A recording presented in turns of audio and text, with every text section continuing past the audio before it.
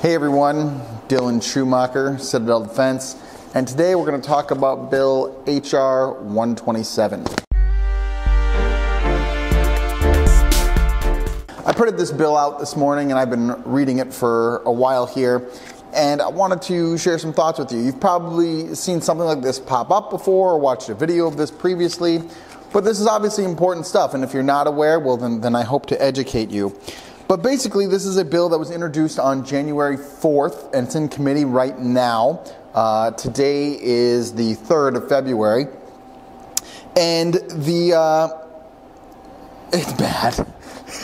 it's so bad. Um, you remember how they've always been saying they're going to come for our guns, they're going to come for our guns, and, and maybe you could write that off as, oh, they're crazy. When I first got into guns, I thought, those people are insane, you know, that's never going to happen. I hope I don't get that crazy. This is the bill.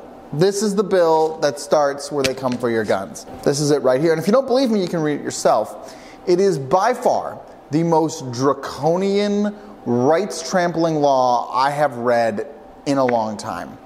Uh, it, it completely ignores the fact that we have a Second Amendment, paves right over that with European style gun control that is incredibly aggressive and will eliminate your personal rights in a heartbeat. So, let's dig in, shall we? So, first, right off the bat, they want to establish licensing. Uh, licensing for the, the possession of firearms or ammunition in the United States uh, and registering with the ATF. Okay, so let's stop right there. So, first of all, it's a license to possess firearms or ammunition, okay? Meaning that you can't just own bullets. Bullets that you can go buy over the counter anywhere you want to. There's not even a license to sell bullets in this country. Uh, however, they wanted to make it so that you had need a license to buy and possess bullets. Okay? Uh, also, then, of course, firearms. You need a license to possess that because, you know, why not? They want to put that in the hands of the ATF, who can't even get you your, you know, license to buy your can for nine months. Then, on top of that, they want to do registration. Now, let's talk about registration here. Every country in the history of the world that has ever registered guns has then confiscated guns. That is a 100% fulfillment ratio. Show me one historical example of a country that registered guns that then did not, in some form or fashion, confiscate guns. Show me it. Just show me one case where that happened. Because you won't be able to find it. There is no historical example of that at all. Every country ever that has registered guns has then confiscated guns. 100% of the time. Registration only leads to one place there, there's only one reason you want to register guns it's so that you can go get them. Another thing on registration it's not always the country or the government that registers the guns, that is the government that confiscates the guns. For example, in Germany in the 1920s, uh, before Hitler rose to power, the, the German uh, Weimar Republic at that time registered guns. Okay? Well, Hitler comes into power, you know, five, ten years later. Guess what he does? He confiscates them all because he's, of course, going to go commit genocide on his people, right? So he confiscates the guns. He already knew where they were and he went and confiscated them, which is also one of the major reasons there was never an uprising in Germany among the civilian population. They did not have the means right? They just they simply didn't have the means. There were cases where the military uh, military officials, you know, tried to assassinate Hitler. I think there was a total of 17 different assassination attempts. However, nothing ever came from the civilians because they did not have the means. Okay, you wonder, oh, how did Hitler take over? How was it so bad? Because the population was disarmed. That was a big part of the problem. I digress. Uh, the registration, of course, will include the make, the model, the serial number, the identity of the owner, the date the firearm was acquired, and where it will be stored.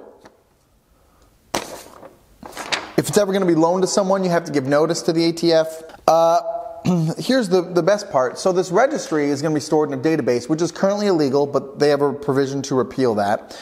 Uh, and then the contents of the database are accessible to all members of the public.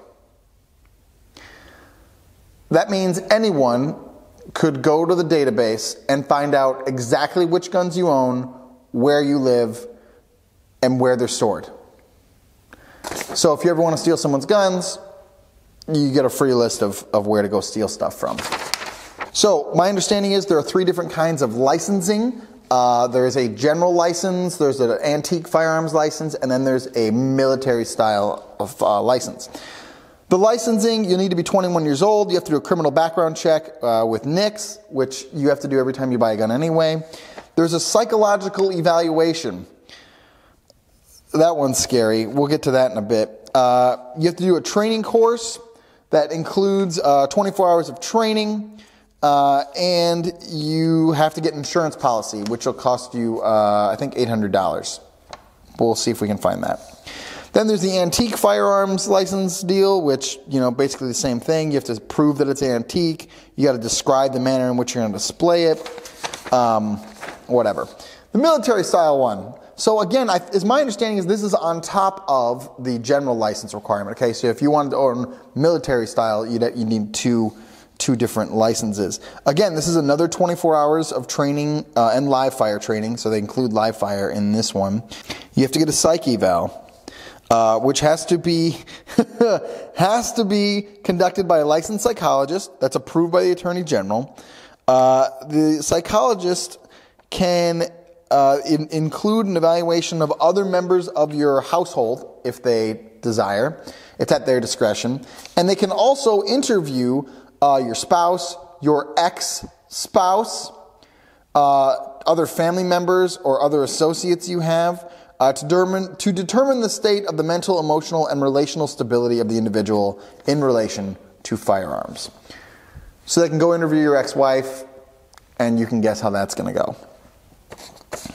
Blah, blah, blah, blah. Okay. Some of this is admittedly confusing, and again, I read it for an hour and I, I don't have the full grasp of it. So if you have a better grasp of it than me, you can comment below and we can have a good time. So again, my understanding here is that every year you're going to have to renew the license. The fee for the license is $800. So that's every year for the first five years. You have to pay $800 just to have a license to have your rights. Imagine if we made people pay $800 every year to have the freedom of speech or to have the government not come search your stuff when they want or to vote. Imagine how that one would go over. Voting is not even a right. They define military uh, style assault weapons. You know, it's it's the same language that was in like the assault weapons ban in the 90s, really. You know, if it has a forward grip or if it is made by these companies or it's copies of these companies or it's an AR or an AK or an FAL or a Steyr AUG gets a special mention uh, or a Tec-9. You know, if it's got a bayonet mount or a flash suppressor or a grenade launcher, that's actually in the bill, grenade launcher. Certain kinds of pistols, you know, basically like the the AR, the rifle pistols is what they're talking about. They give a bunch of qualifications there. Semi-automatic shotguns that have folding stocks and whatever are much more scary. Um, yeah. So you also can't loan your gun to someone else unless they have a license. And then, even then, you have to get permission and notify the attorney general of who you're going to loan it to and when and how long. You have to get insurance, uh, which you have to pay the government for. I'm not, it's not clear if that's a part of the original $800 fee for your license or if that's a separate insurance. Okay, then we get to the penalties. And I'll be honest, I'm not sure if these penalties apply to this section or existing laws that was kind of unclear to me. So if you know, you can let me know. Uh, but the penalties are pretty bad. I mean, you're talking about, you know, 75,000 to $150,000 fine, 15 to 25 years in jail, you know, 10 to 15 years in jail, uh, just a bunch of different penalties that they're adding on here for different things. They also outlaw uh, 50 cal ammunition or greater because why not? and as if this all wasn't bad enough. They want to outlaw uh, large capacity ammunition magazines, uh, which it is unlawful for any person to possess a large capacity ammunition feeding device. So just possession, just period. Just no grandfathering, no nothing. It's just outlawed. Uh, well, what's a what's a large cam capacity? Ten rounds. Ten rounds. So, 17 round mag, felony. They do give you a provision that you can keep 22s. So that's it. Uh, that's me going through the bill there. Again, if you haven't read this bill yourself, I would invite you to go read it. Uh, if you haven't, if you're not aware of this or aware of what's going on, please become aware. Uh, it completely ends the Second Amendment in this country which is a law. I'd just like to remind everybody. Uh, however, this would just contradict that law, and, and of course, which one do you think they're going to enforce? The Constitution, the High Holy Law, or this new made up fangled one, right? So, if you haven't read it, if you're not educated on it, please go read it. Please go look at it yourself. I'm not making this up. This is the most egregious assault on your rights in your lifetime. I, don't think I'm exaggerating when I say that because it's the beginning of the end. Uh, with this bill, they would strip all guns from people. Is it even enforceable? Is it even possible? I don't know. We have more guns than people in this country. God bless America.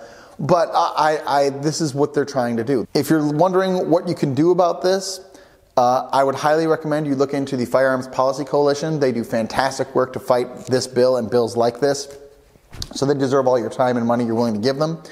Uh, additionally, email, call your congresspeople and your senators now, like today, and let them know that this is gar- garbage and trash and they should deny it. It should be DOA. We're not going to talk about what would happen in this country if this bill actually passed. That's a different video, but I'm sure you can imagine how that's going to go. Stop it now so we don't get to that part. Do brave deeds and endure.